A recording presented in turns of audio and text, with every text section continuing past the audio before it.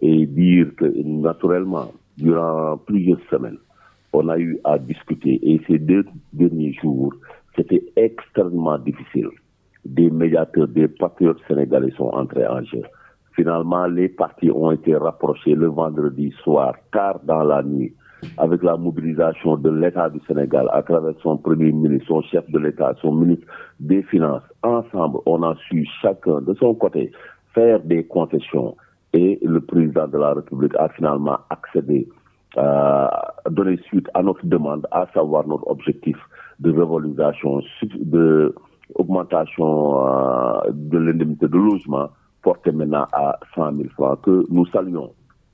Et nous pensons qu'également nous avons eu à faire des concessions pour l'école parce que on a accepté, c'est vrai, on a atteint notre objectif de 100 000 francs, on a discuté sur les modalités d'allocation et les modalités d'allocation de cet argent, c'est quand sur euh, et naturellement trois ans. Et ce matin, le Premier ministre nous a convoqué pour une réunion demain à 12h30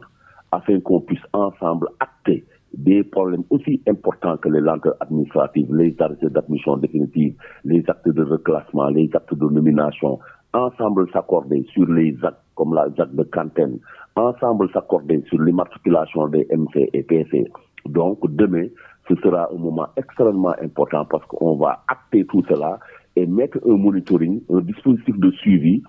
qui va être surveillé par le Premier ministre, mais aussi par des ONG actives en éducation et des chefs religieux. Et nous pensons que cette fois-ci, avec la solennité du 3 avril, avec le